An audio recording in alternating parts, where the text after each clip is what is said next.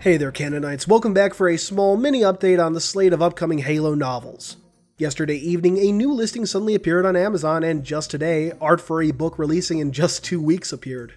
In light of both of these revelations, I think it's only appropriate to give y'all a solid list of books that we know are coming out and any details we know at this time. A quick heads up though, this will likely contain spoilers from some of the stories from Halo Fractures, as all these books tie into stories from that anthology. Continue at your own risk.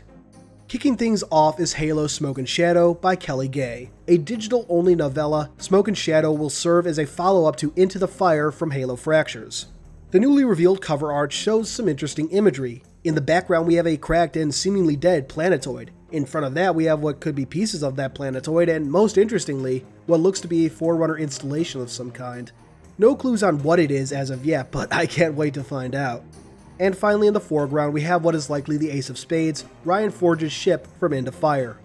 Now this all assumes that this isn't recycled concept art like the covers of the Forerunner saga, but those books were the only place where that was really a thing. Every other book has had special made cover art, and I doubt 343 are planning to break that trend here.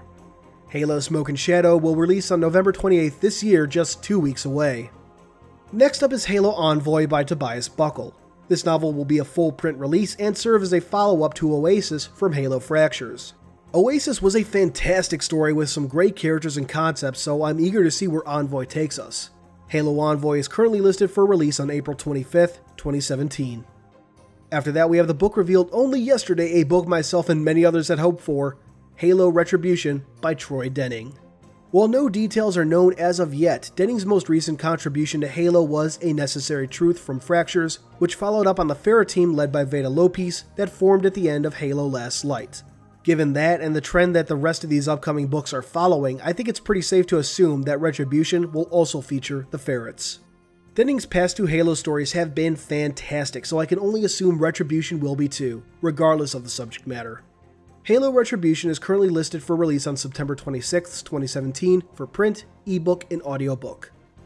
Our last novel today is probably the most well known of the upcoming books, Halo Legacy of Onyx by Matt Forbeck, another full length print novel. This will be a follow up to lessons learned from Halo Fractures, and as the title implies, will feature the Onyx Shield world. Interestingly, the listing for this book first appeared on the Simon & Schuster website with a full title, but has since been replaced with an untitled listing. If this means anything remains to be seen. Halo Legacy of Onyx is currently slated for release on December 26, 2017. Well, that's everything for upcoming novels or novellas that we know about at this time. I'm personally pretty excited, both because all the authors have a good history with Halo, but also because the subject matter to be covered is stuff I'm excited to learn more about. How about you all? Any particular story you're looking forward to? Thanks for watching as always, and until next time, this has been Halo Canon. Hey guys, thanks for watching. If you liked this video, please consider giving it a thumbs up, subscribing, and sharing it around. You are the reason I get to keep doing this, so thank you, profusely thank you.